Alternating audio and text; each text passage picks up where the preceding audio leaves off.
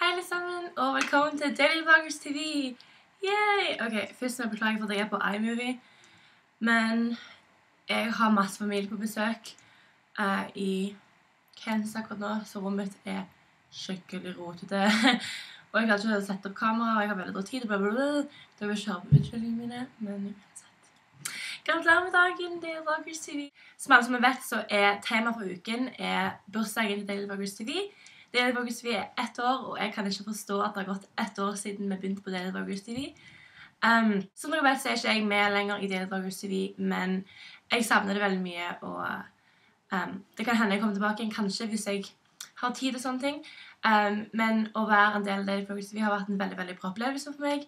Jeg fikk virkelig utfordre meg selv med å lage videoer som kanskje ikke var så veldig interessante for meg, og på en måte gjøre det litt interessant meg og tvinge meg selv til å like det.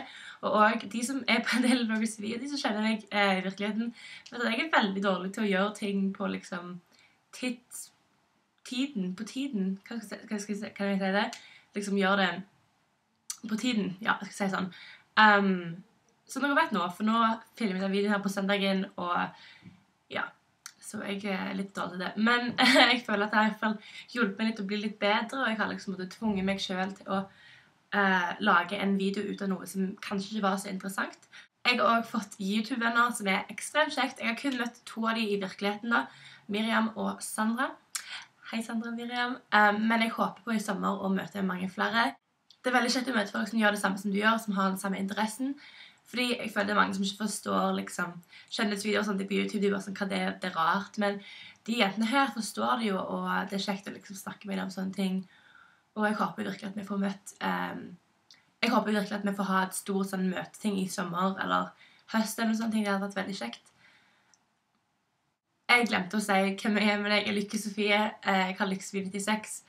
Um, og jeg prøver å liksom prioritere kanalen min litt mer enn en collab-kanal, så det er veldig vanskelig å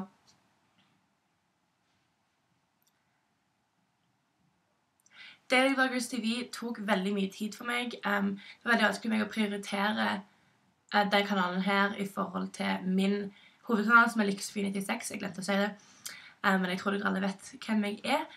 Daily Vloggers vi tok jo veldig mye tid, og det var en av grunnene til jeg slutta. Jeg slutta fordi at jeg flytta, og fordi jeg hadde selvfølgelig ikke tid, men òg fordi at jeg følte jeg måtte prioritere hovedkanalen min, for den begynner å bli um, mye større nå. Jeg begynner å få litt muligheter, og sånne ting, så jeg ville på en måte fokusere på det.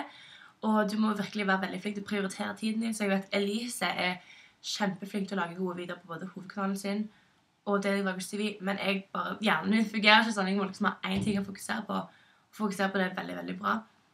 Um, så det var en av grunnene til jeg slutta Vloggers TV, og det tar mye tid. og du må være veldig liksom Hva heter ordet? Committed. Du må være veldig Du må være villig til å prioritere. Du må være villig til å liksom, være med på det fullt. Og jeg følte at jeg ikke helt klarte det, liksom. Men når det er sagt, så har Daily TV um, vært en veldig veldig bra opplevelse. Jeg hadde det så kjekt når jeg var med. Um, jeg tror jeg var med i tre, fire måneder, kanskje. Fem? Kanskje Nei, jeg vet ikke helt. Men jeg hadde det utrolig kjekt. og og jeg vil absolutt gi creds til de som er nå, fordi det er ganske vanskelig å være med på en collab-kanal. Og eh, jeg syns vi er flinke som har klart å holde det ett år. Eller det er mest creds til Elise, egentlig, fordi hun har liksom holder alt gående, holdt på si. Men um, ja. Gratulerer med dagen, Daily Vloggers TV. Eh, jeg håper du kommer til å få mange år foran deg, og jeg håper du kommer til å få mange subscribers og suksess. Og kanskje vi ses en annen dag her på Deltakers TV. Um, og kanskje vi ses en annen dag. Um, ja. Hvis dere har lyst til å sjekke ut mer av meg, så sjekk ut kanalen min Lykkesofie96. Um, og da snakkes vi snart. Ha det bra!